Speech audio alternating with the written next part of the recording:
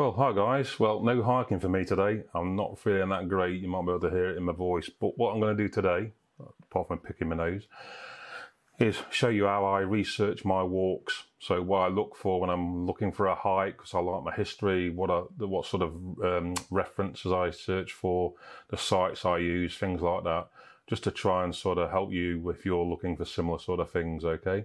So that's what I'm going to do today. Um, let's just crack on and uh, let's see what we're going to do. So, first of all, I look at the Ordnance Survey maps. So, Ordnance Survey maps have a wealth of information on them. Um, the things I look for are things like place names, uh, and there's some really good sites I'll show you in a second. So, a place name, things like gate, for example, normally imply an old medieval or Roman road. So, things like that can really indicate it. Um, Anything that's in Old English letters, normally on an Ordnance Survey map, is a, some sort of historical interest. Um, so things like cairns, hill forts, stone circles, and you can see on the screen here, there's a hill fort here, there's an old field system, and these field systems can go back to prehistoric times. Uh, like I say, names can give away uh, uh, things, and I searched those as well. Earthworks showing here, and then you know, like I say, stone circles are on there, all sorts of wonderful information. My internet's a bit slow, so the map's not doing too good. So the first thing I always look for is that. I'll also look for something like scenery. So yeah, edges here, for example, if I want to look for an edge or a valley, uh, viewpoints, they tend to show up as this sort of uh, star-shaped symbol. So there's lots of information on these maps that will show you something of interest you know, uh, and so I, I, just have a quick look, see if anything takes my sort of, uh, you know, uh, interest. Things like tumuli are always interesting. These sort of star-shaped things normally refer to tumuli, which are burial mounds, normally Bronze Age or earlier. Um, so, so, like I say, uh, the grey ditch here, for example. So there's lots of things. You can look for edges, you can look for trig points, uh, anything like that will tell you that uh, there's something of interest. Lord Seat here, for example, Mam Tor. So yeah, all that sort of thing will tell you there's something of interest there. Obviously, looking at topography. So you know, if you zoom out uh, like to one for fifty thousand, you can see things like ridges where you might get good views. Here's another classic case. This plus sign here is normally an old road. That's Chapelgate, which is go back to medieval times at least. It used to go from sort of Edale over to Chapel-en-le-Frith, for example. So lots of hints and stuff there that show you that the view or the, the walk might be of interest. You know, Kinder Scout, look at that, it's a classic piece. You've got all your edges, you've got these cloughs. You can clearly see it's the highest point around, so you're going to get some really good views from there. So it really depends what you're after, after really. My thing tends to be history, so like I say, the old English stuff like that is always good to look for. The other thing I also do then, after looking on the map and maybe picking out an area I want to go and do a walk, I'll go and search on Wikipedia. And that's a really good source of information. So for this example, I found Peveril Castle, for example, in Castleton. That looks really interesting. It'll give you loads of interest on the history. There'll be maps, there'll be pictures. So that forms the backbone of what I'm going to talk about on my on my talk. And there's also normally links to other things. So you can see here quite a lot of history around that, going all the way from you know when it was built to modern times. But normally there's good links here, like for example here, list of castles in Derbyshire, castles in Great Britain and Ireland, and then all sorts of references. So lots of really good information on Wikipedia. I know some people don't particularly like it. I find it a really, really good source of information. So again, I'll look for that I'll pick out some key points. Again, place names are, are, really key for me. They, they do indicate things like I said before, the word gate, for example, or um, like, for instance, someone I was looking at was Chinley Churn. So if I go across here, find the Chinley Churn, which is near Chinley Head, you know, there's some examples there. So, you know, trial holes, I went and searched that. They were actually trial holes for coal mines. So that's really interesting. There's a disused quarry here. I went and researched that. A lot of really interesting history there. I then went and searched about Chinley Churn itself. Where did the name come from? The name came from the topography and the way it looks. But I also found there's a Bronze Age barrow just here, just behind the trig point. So, you know, looking through stuff like that, uh, another really good example here, which I found really interesting on this one, was where I was starting the walk, was a place called uh, Peeper Farm. And I was like, well, you know, what, what's that all about, Peeper Farm? What it turns out is it's a farm, and the farmhouse has a glass window in it, but at the start of the day, the sun shines through and lights up the house, hence peep of the day.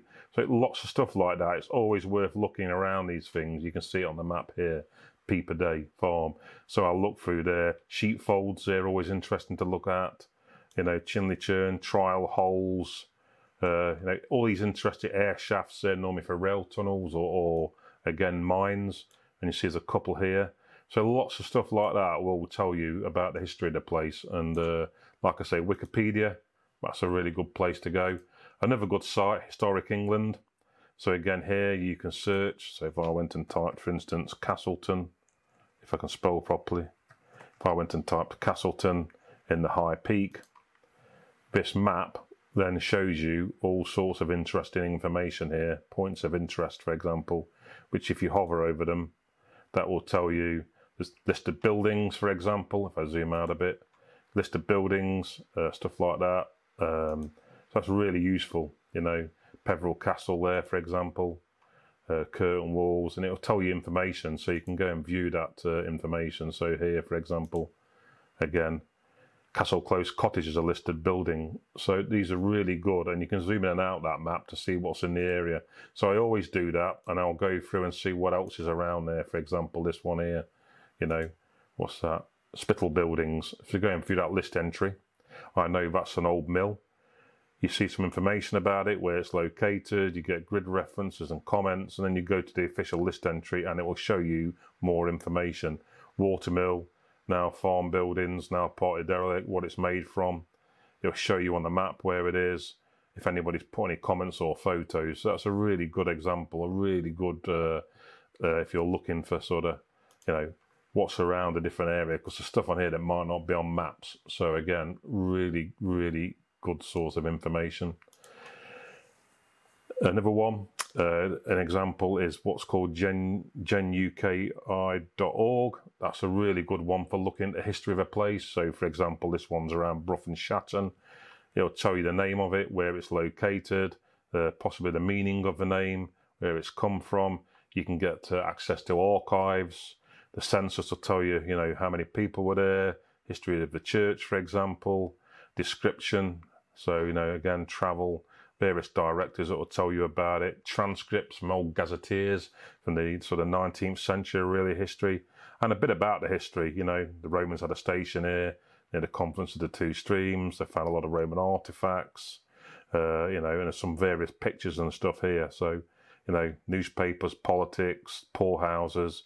So there's a lot of information here. That's a really good, again, if you want to look for the old records to see what happened in, in that place. Another good site for all castles is castleuk.net. I found some castles here that I never knew existed, like this one, the remnants of uh, the old motte from the Hope Castle from Norman times. And again, it will show you maps, it will show you castles that are nearby. So, for example, Camp Green and Peveril Castle are nearby. It will show you on a map and it'll give you very inf- information, including grid references, etc. So again, if you know there's castles in the area, or even if you want to see if there are castles in the area, castleuk.net's a really good uh, resource. The megalith portal. So, for example, if you're looking at stone circles, you might want to go and find out a bit more information about them. There's an entry for each one here. So if you go and search in here, I don't know, let's go and put Hordron because I know that's one that's local to us. Go and press enter.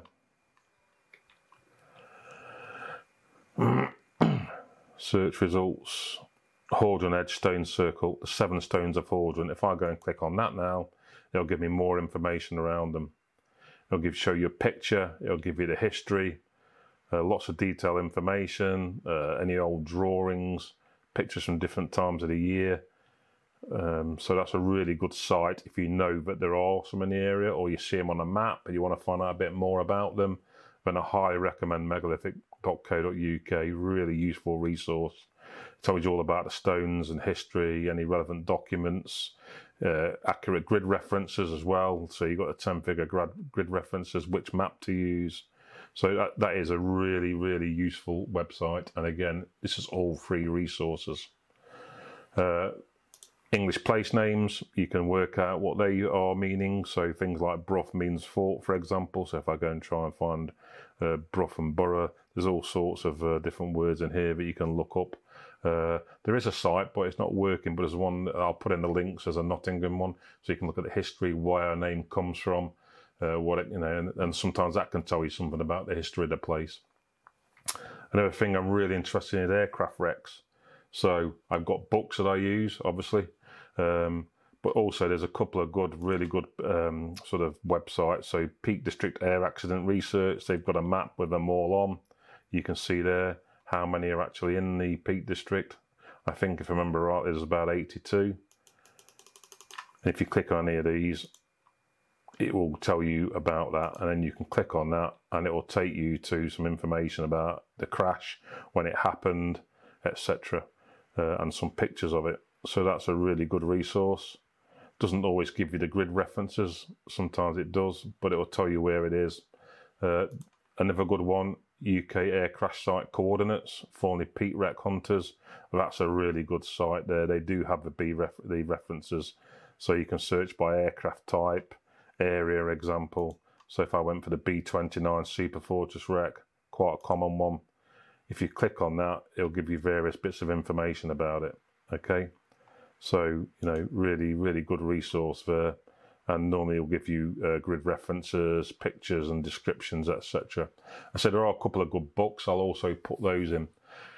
So that's what I tend to do when I'm, I'm researching. I'll uh, look on the internet, Google. I'll look on uh, you know Wikipedia. I'll search all these different historical sites. All of that will give me information on things of interest on that hike, because that's what I'm all about, history and stuff like that. Okay. So you know, I, use Outdoor Active. There are other apps. So you can use Google Maps, but I find the uh, the Ordnance Survey map is very powerful different names. You know, an example here again, look, Mount Famine. I did a bit of research on that. Turns out that Mount Famine comes from the fact that the land's very poor, doesn't give you much productivity out of it, for example. So yeah, that's what I do. Hope that helps you all out. I'll put links to all the various resources I use in, in the comments below. Um, yeah, uh, any questions, just ask me. Anyway, I'll catch you on the next hike. Hopefully next weekend I'll be out because hopefully I'll be feeling a lot better.